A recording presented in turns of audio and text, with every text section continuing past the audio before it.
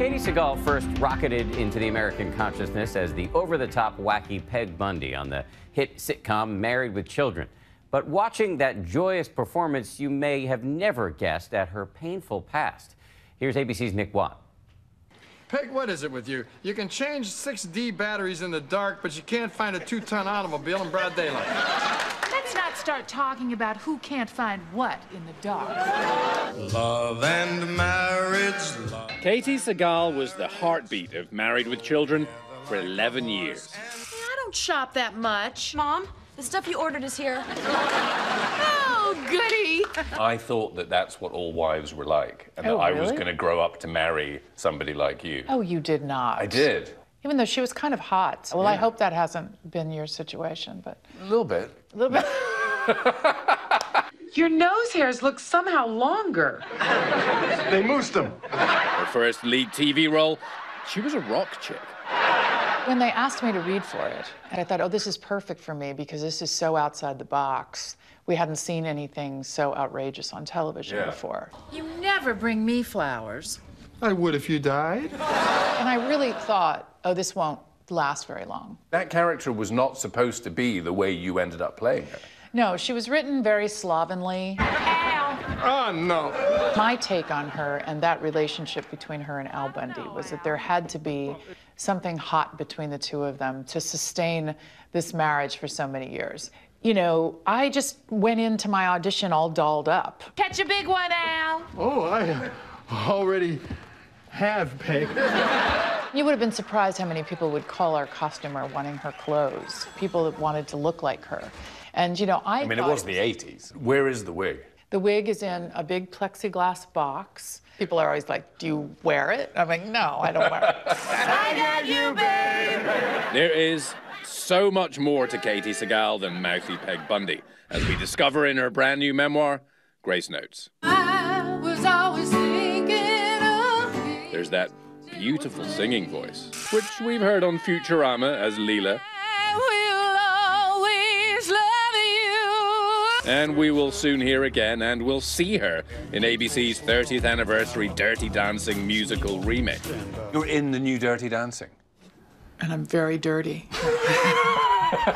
I play Vivian. In the original movie you saw, her, she's kind of the lonesome, sexy divorcee. This is our last night together, lover. I've got something worked out for us. And there was the time in her youth when Kiss came to town.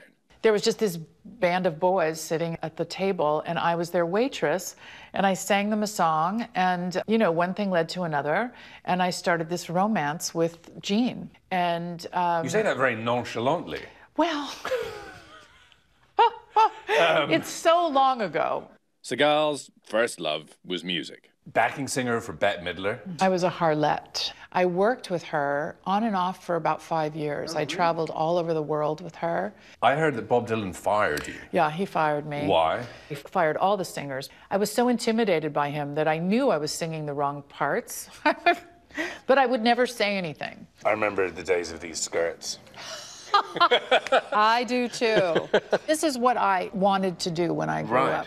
And this is this is still in there. This is still who she is. Me. Me. Her parents were showbiz people, her mum a screenwriter, her dad a director. Both of your parents died when you were relatively young.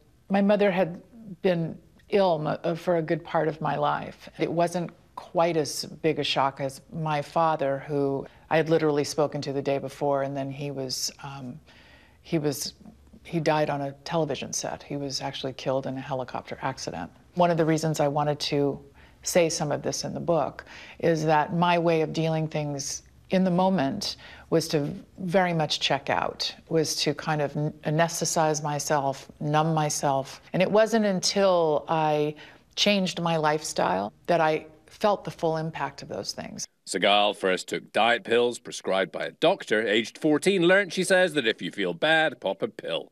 15 years of booze and happy pills, she says, became a problem. I had a drug and alcohol problem that lasted through my 20s. Until a chance meeting on a TV set. I met a person on a job that was uh, sober, and she talked to me about it. Suddenly, out of nowhere, popped up a lot of people that were living a life um, clean and sober. And I, I didn't really know about that. You've been clean for 30 years? Yeah, I mean, that's a massive achievement. it's massive, I know. It really is. One day at a time. I- Still? I, I still. What I've learned is that I can do anything for 24 hours. Recently, of course, there's The Bastard Executioner and Sons of Anarchy. You looked me in the eye and you promised me you wouldn't hurt Tara. She'd been Golden Globe nominated for Peg Bundy. She won for Gemma Morrow in Sons of Anarchy, She'd probably be dead if Jax wasn't with her. a role created by her husband, Kurt Sutter. To my husband, I love you. I'm so glad you're the boss of me. He was the EP, she was a star.